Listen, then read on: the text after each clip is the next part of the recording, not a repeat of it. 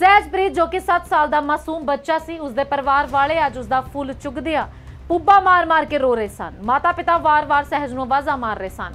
ਤੁਹਾਨੂੰ ਦੱਸ ਦਈਏ ਕਿ ਲੁਧਿਆਣੇ ਦੇ ਵਿੱਚ ਇੱਕ ਇਹੋ ਜਿਹੀ ਘਟਨਾ ਵਾਪਰੀ ਹੈ, ਜਿਹਨੂੰ ਸੁਣ ਕੇ ਜਾਂ ਪੜ੍ਹ ਕੇ ਹਰ ਇੱਕ ਵਿਅਕਤੀ ਦਾ ਦਿਲ ਰੋ ਪਏਗਾ। ਸਕੇ ਤਾਏ ਨੇ ਆਪਣੇ 7 ਸਾਲ ਦੇ ਬੱਚੇ ਨੂੰ ਨਹਿਰ ਦੇ ਵਿੱਚ ਧੱਕਾ ਦੇ ਕੇ ਮਾਰ ਦਿੱਤਾ।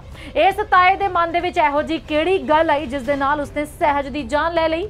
ਇਸ ਦੇ ਬਾਰੇ ਖਬਰ ਸਾਨੂੰ ਇਹ ਮਿਲੀ ਹੈ ਕਿ ਜੋ ਉਸਦਾ ਤਾਇਆ ਸੀ, ਸਹਿਜ ਦਾ ਤਾਇਆ ਸੀ, ਉਹ ਆਪਣੀ ਪਰਜਾਈ ਯਾਨੀ ਕਿ ਸਹਿਜ ਦੀ ਮਾਂ ਤੋਂ ਅਕਸਰ ਖਫਾ ਰਹਿੰਦਾ ਸੀ। ਘਰ ਦੇ ਵਿੱਚ ਉਹ ਕਦੀ ਹਾਸੇ ਮਜ਼ਾਕ ਦੇ ਵਿੱਚ ਸਹਿਜ ਦੇ ਤਾਏ ਨੂੰ ਰਾਮੂ ਕਹਿ ਕੇ ਬੁਲਾ ਦਿੰਦੀ ਸੀ, ਜਿਸ ਦਾ ਗੁੱਸਾ ਉਸਨੇ ਉਸ ਬੱਚੇ ਦੇ ਉੱਤੇ ਕੱਢਿਆ ਔਰ ਉਸ ਬੱਚੇ ਦੀ ਜਾਨ ਲੈ ਲਈ। ਤੁਹਾਨੂੰ ਦੱਸ ਦਈਏ ਕਿ ਤਸਵੀਰਾਂ ਔਰ ਸੀਸੀਟੀਵੀ ਫੁਟੇਜ ਜਿਹੜੀ ਹੈ ਪੁਲਿਸ ਨੂੰ ਮਿਲੀ, ਕਿਉਂਕਿ 2 ਦਿਨ ਪਹਿਲਾਂ ਸਹਿਜਪ੍ਰੀਤ ਆਪਣੇ ਇਲਾਕੇ ਤੋਂ ਇੱਕ ਤਰ੍ਹਾਂ ਲਾਪਤਾ ਹੋ ਚੁੱਕਾ ਸੀ।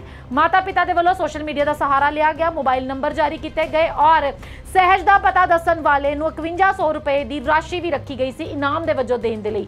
ਪਰ ਕਿਸੇ ਨੂੰ ਵੀ ਨਹੀਂ ਸੀ ਪਤਾ ਕਿ ਸਹਿਜ ਦੀ ਜਿਹੜੀ ਲਾਸ਼ ਆ, ਨਹਿਰ ਦੇ ਵਿੱਚੋਂ ਮਿਲੇਗੀ। ਤੁਹਾਨੂੰ ਦੱਸ ਦਈਏ ਕਿ ਸੀਸੀਟੀਵੀ ਦੀ ਫੁਟੇਜ ਤੋਂ ਜੋ ਪਤਾ ਲੱਗਿਆ, ਤਾਇਆ ਜਿਹੜਾ ਹੈ, ਉਹ ਹਰ ਰੋਜ਼ ਦੀ ਤਰ੍ਹਾਂ ਸਹਿਜ ਨੂੰ ਆਪਣੀ ਮੋਟਰਸਾਈਕਲ ਤੇ ਬਿਠਾ ਕੇ ਲੈ ਕੇ ਜਾਂਦਾ ਹੈ। ਸਭ ਤੋਂ ਪਹਿਲਾਂ ਉਸ ਨੂੰ ਬਾਜ਼ਾਰ ਦੇ ਵਿੱਚੋਂ ਕਢਾਉਂਦਿਆਂ ਹੋਇਆ, ਫਿਰ ਗੁਰਦੁਆਰਾ ਸਾਹਿਬ ਲੈ ਕੇ ਜਾਂਦਾ ਹੈ। ਗੁਰਦੁਆਰੇ ਦੇ ਵਿੱਚ ਮੱਥਾ ਟੇਕਦਿਆਂ ਦੀ ਸੀਸੀਟੀਵੀ ਫੁਟੇਜ ਜਿਹੜੀ ਹੈ ਸਾਹਮਣੇ ਆਈ ਹੈ, ਜਿਹਦੇ ਵਿੱਚ ਤਾਇਆ ਸਹਿਜ ਦੇ ਨਾਲ ਗੁਰਦੁਆਰੇ ਵਿੱਚ ਜਾ ਕੇ ਮੱਥਾ ਟੇਕਦਾ ਪਿਆ ਮੱਥਾ ਟੇਕਣ ਤੋਂ ਬਾਅਦ ਉਹ ਸਹਿਜ ਨੂੰ ਨਹਿਰ ਦੇ ਕੋਲ ਲੈ ਕੇ ਜਾਂਦਾ ਜਿੱਥੇ ਜਾ ਕੇ ਉਹ ਸਹਿਜ ਨੂੰ ਧੱਕਾ ਦੇ ਦਿੰਦਾ ਸੋ ਇਸ ਗੱਲ ਦਾ ਖੁਲਾਸਾ ਉਦੋਂ ਹੋਇਆ ਜਦੋਂ ਸੀਸੀਟੀਵੀ ਫੁਟੇਜ ਦੇ ਵਿੱਚ ਇਹ ਪਤਾ ਲੱਗਾ ਕਿ ਅਖੀਰਲੀ ਵਾਰ ਸਹਿਜ ਸਿਰਫ ਆਪਣੇ ਤਾਏ ਦੇ ਨਾਲ ਹੀ ਸੀ ਔਰ ਗੁਰਦੁਆਰੇ ਗਿਆ ਸੀ।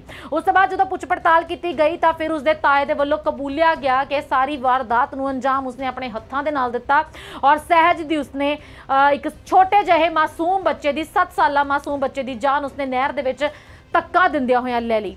ਉਸ ਦਾ ਦਿਲ ਕਿਵੇਂ ਕੀਤਾ ਕਿ ਇਸ ਇੱਕ ਆਪਣੇ ਆਪਣੇ ਹੀ ਸਕੇ ਭਤੀਜੇ ਨੂੰ ਨਹਿਰ ਦੇ ਵਿੱਚ ਧੱਕਾ ਦੇਣ ਦੇ ਲਈ? ਇਹਨੂੰ ਲੈ ਕੇ ਹਰ ਕੋਈ ਹੈਰਾਨ ਹੈ, ਹਰ ਕੋਈ ਪਰੇਸ਼ਾਨ ਹੈ।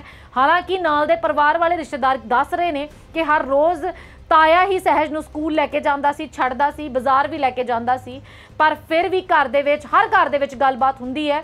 ਪਰ ਇਸ ਤਰੀਕੇ ਦੇ ਨਾਲ ਇੱਕ ਬੱਚੇ ਦੀ ਜਾਨ ਲੈਣਾ ਕੀ ਇਹ ਸਹੀ ਹੈ? ਇਸ ਨੂੰ ਲੈ ਕੇ ਬੜੇ ਸਵਾਲ ਖੜੇ ਹੋਏ ਨੇ।